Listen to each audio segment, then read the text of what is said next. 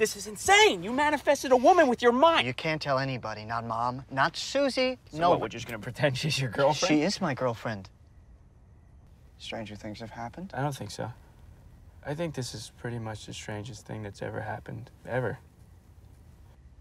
Please don't ruin this for me. Promise me, no one.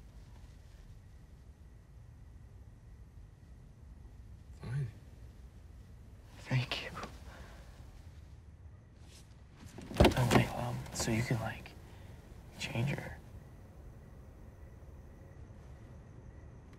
Like, I guess. So you can make her like do anything. For men everywhere.